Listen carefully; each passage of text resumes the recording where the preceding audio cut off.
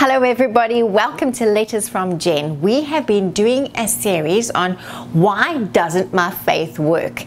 And very often, when we find we've been praying and believing God for a certain breakthrough, we just don't seem to get the results that we've been waiting for. And immediately we question, well, why doesn't faith work?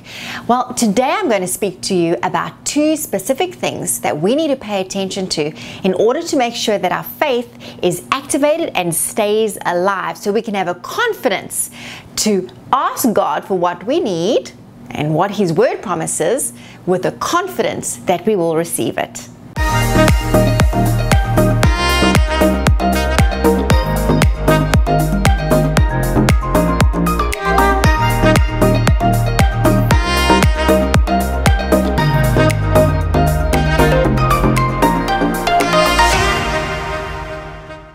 Now, it's easy to feel disappointed when the things that you believe in God to do for you just don't seem to happen. Often people will write in and they ask why God doesn't hear their prayers.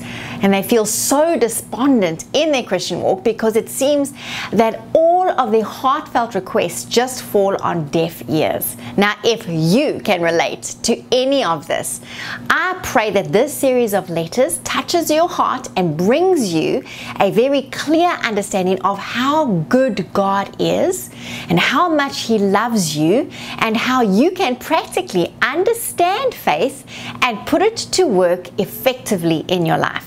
Now, in the previous letter, if you remember, we discovered that faith is not a whimsical, wishful state of mind, but rather it's a spiritual force that has the ability to reach into the spiritual realm and bring whatever God has promised us into our natural reality.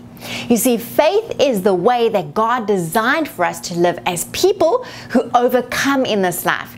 It's a way that we can appropriate every freedom and promise that Jesus paid the price for when he went to the cross. And it's the only way we can enjoy the benefits of personally knowing God. It's also how we live in continuous victory over our enemy, the devil. Now, we also learned that we increase our faith by meditating on the Word of God, believing what it says as our final authority, and being sure to keep our words and our conversations in line with what it says.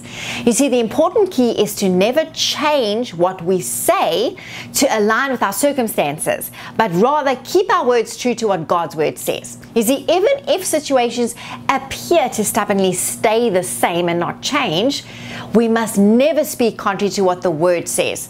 No circumstance has ever and nor will it ever change what God says. It's His word that remains forever the same and has the power to change our circumstances, making them line up with what He says. So, this means the problem with our faith not working is not on God's side. You see, His word always produces what it says. Isaiah 55 11 says, So shall my word be that goes forth out of my mouth. It will not return to me void without producing any effect or being useless, but it shall accomplish that which I please and purpose, and it shall prosper in the thing for which I sent it. So, what prevents our faith from working? Well, one prevention is doubt.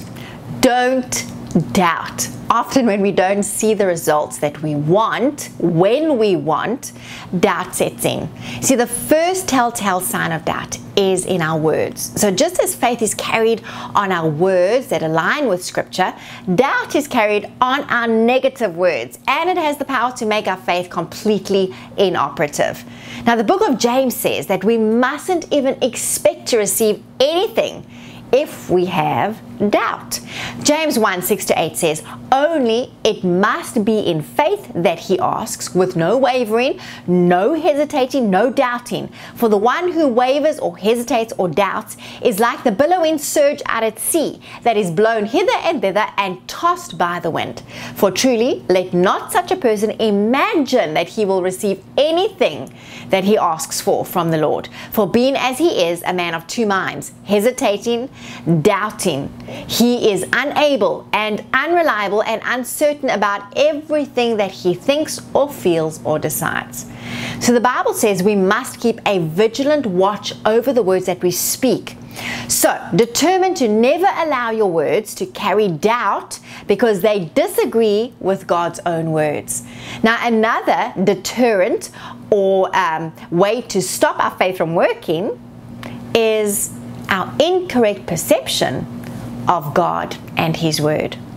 We have to see God's Word as Himself. You see, something that will help you counter that temptation to doubt is to change your perspective of God's Word.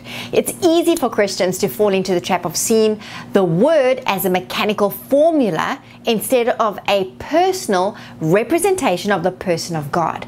Now, our confidence and expectation must lie in our trust of the God we intimately know. Our dependency is rooted in understanding His absolute love and faithfulness towards us. Otherwise, the word is just a book. Now, it isn't a mechanical formula. And when we give ourselves to God's word, we actually give ourselves to truly knowing who He is. This is where we see that His ways are perfect and His promises are true. In fact, we fall in love with Him and His Word. Loving and embracing God through His Word actually begins a transformation process in us from the inside out. You see, we are changed by knowing Him. Our thoughts become influenced by His thoughts. And as um, our thoughts change, so do our actions change. So do our attitudes change until we begin to speak words of faith that aren't just empty uh, resuscitations or declarations that are empty, they are full of power because we're going to speak from lives that have been divinely influenced by our relationship with the Word. Now, I earnestly encourage you to take the time to purposefully give yourself to God's Word this week. Each day, determine to find out more about Him as you spend time meditating on the truth. Ask the Holy Spirit to reveal the person of Jesus to you and make His words come alive in your heart so that the transformation process can begin inside you. So, as you delight in God's Word, you will delight in Him too and in His ways.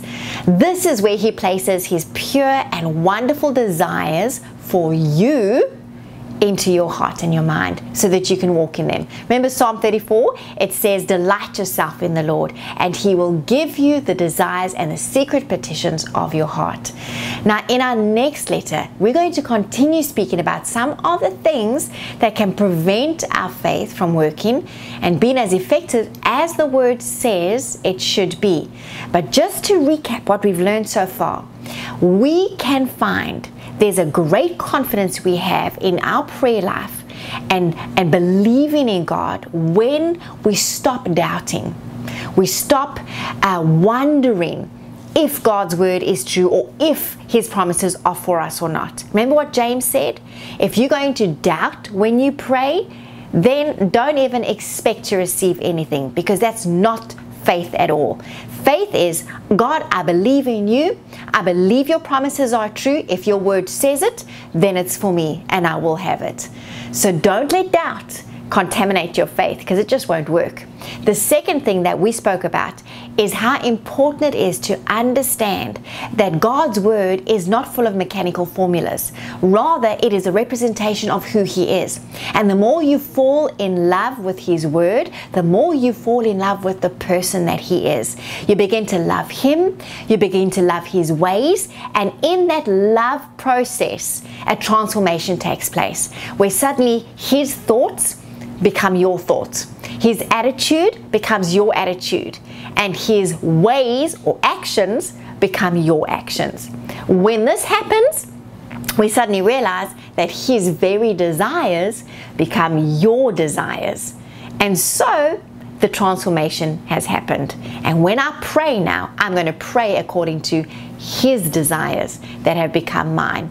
Let me tell you, that is going to revolutionize your faith when you come to Him in prayer. Until next week, God bless you and goodbye.